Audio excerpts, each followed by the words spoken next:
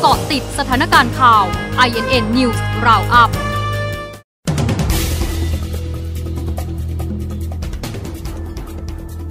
นาฬิกา8นาทีกกทเตรียมพร้อมมาตรการคลายล็อกเฟส 4 เปิดพื้นที่ลานกิจกรรมด้านกีฬามากขึ้น คุมเข้มด้านความปลอดภัย 15นาฬิกา27 นาที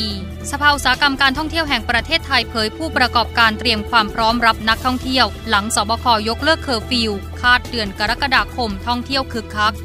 15นาฬิกา49 นาที เพื่อนที่อยู่ในเหตุการณ์อุบัติเหตุรถจักรยานยนต์ชน 3 ศพ ถนนเศรษฐศิริ เข้าขอขมาศพ ยืนยันหากมีความผิดพร้อมรับโทษ และจะบวชอุทิศส่วนกุศลให้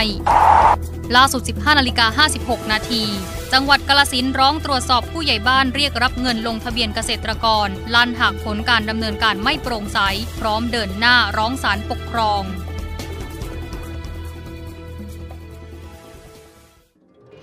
กาะติดสถานการณ์ข่าว INN News Roundup